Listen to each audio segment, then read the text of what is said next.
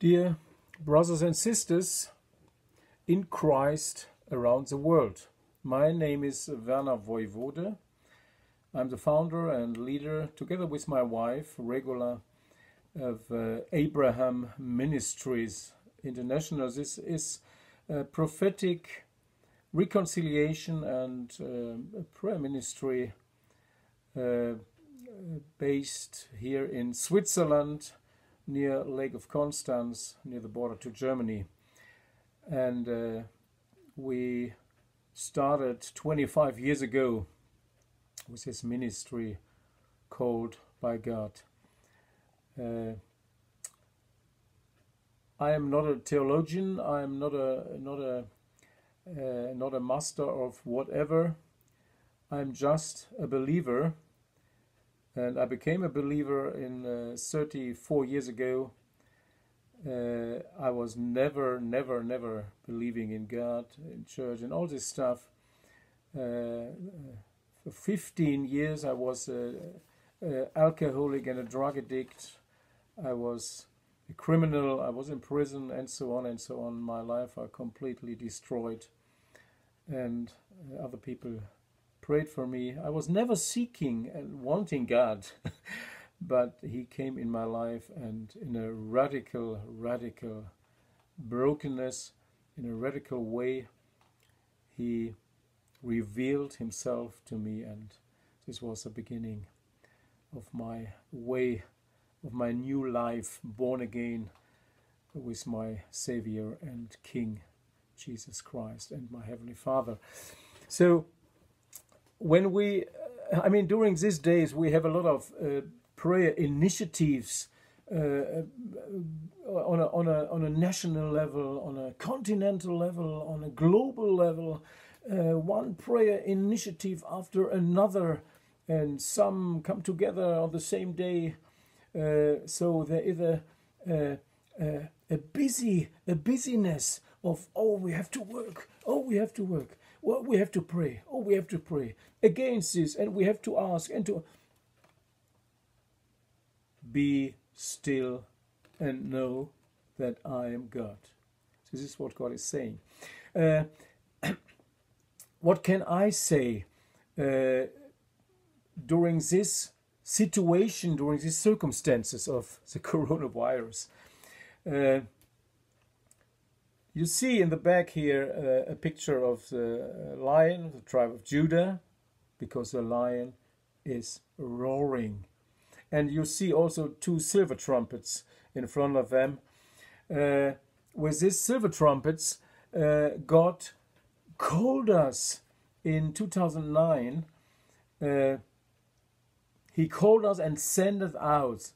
Uh, first in Europe, every of all the 50 nations, the continent of Europe, and then in all the other continents around the globe to, to sound the two silver trumpets based on Numbers 10, uh, where God called Moses to make two silver trumpets to call the people together and break off camp.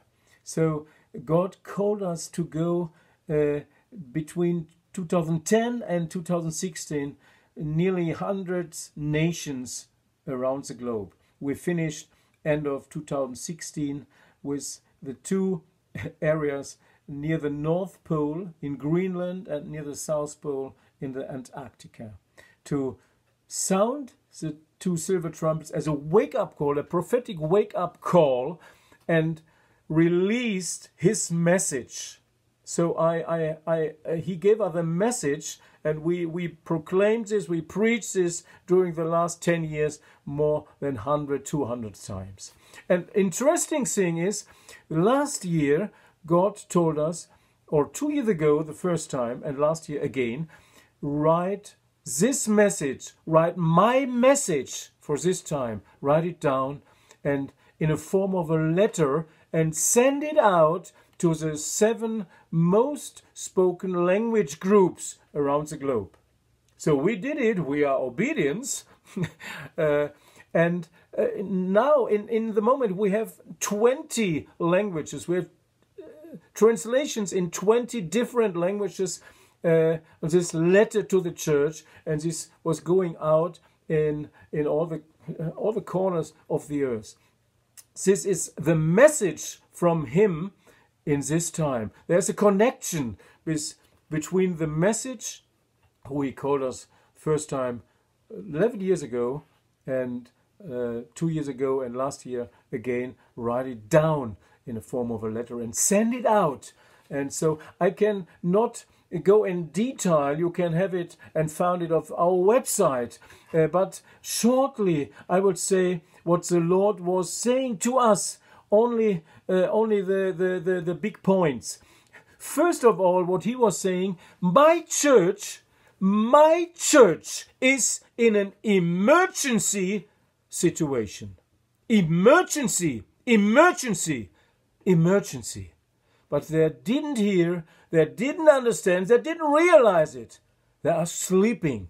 So go and sound the trumpet that make awaken. Awaken. I have to awaken my church in different parts. My body, my church is ill. Some parts are not only sleeping, uh, there are spiritual dead. There are blindness and so on and so on. So, and the Lord told us in three areas I have to wake up my church. Area one is come back to the first love. Come back to me. Though God is calling, calling us, you and me, in a deep, deep, deep relationship with Him. We must know Him. This is eternal life to know Him, to know God, the Creator, and who, whom He sent, Jesus Christ, His Son. So we have to know Him, not only uh, some informations about Him. To know, yeah, I, I, I, I heard this, I, I read this. We have to know Him, to spend time with Him, to go deeper and deeper to know Him, how He is, how excellent, brilliant, and awesome he is. Wow. This is the first point. Come back to me. The second point is come back to my word. We are in a time where we are overwhelmed wave after wave with words, words, words, words. And all the words, all the informations around the globe can come into through, we have so many possibilities. iPad, we have our iPhones. We have, uh, we are all the time in, in every corner of the world. We, we can receive uh, informations. So this is overwhelming us. This is crushing us. And all words, what, what, what, what something, something, all information will do something with us. Come here, here, here, hear me, hear me, hear me. Do this, do this. And in all this hectic, in all this, ah, in all this circumstance, God called us back. Come back to my word. When we will know Him, we must know His word. When we love Him, we must love His word, because in and through His word, He revealed Himself. We see his character, his heart, what, what he was doing. We, we must create and ask for a hunger to his word. Come back to my word. The third area is come back to an understanding about your roots.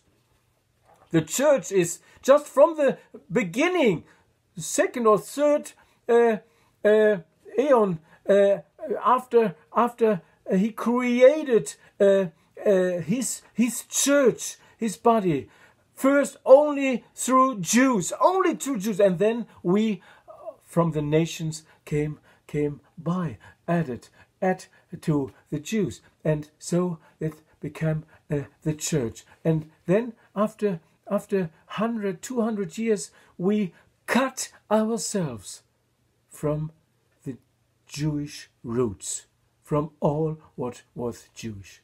And so we uh, in in in 11 in Romans 11 uh, Paul told us not you carry the roots but the roots carry you. And with you he means the believers from the nation you and me. So we must be connected with our roots otherwise we are dead. Dead. And this is what we see a dead church. Because we are not connected with our roots. And in Ephesians 2, he explained that he came not only uh, and, cruci- was crucified not only uh, uh, to to to uh, to set you free, to bring you a new life. He came also to to destroy the wall between the Jews and us through his crucifixion on the cross. And to, to make both one, the one new man, his church, Jews and Gentiles, believing in Christ Jesus, with one access to the Father through the Holy Spirit. So, and we have done the opposite, exactly the opposite. We have murdered them. So we must come back to an understanding about our roots and love them and pray for them, be one with them. So these are the three areas, the three areas, and you you will find in detail more uh, uh, this this whole letter to the church uh, on our website. I I give you here the date. It's www.verein uh, ch in German is www äh, Verein minus abraham.ch. So, uh, alles klar. Uh, this is our website, and you can go on the website and find uh, this message, this letter to the church in 20 languages. Please receive it. Please print it out. Please give it away. And first of all, read it, pray about it and let us turn to our God. This is His message for this time. I pray that we have ear to hear what the Spirit is saying. Goodbye and God bless you.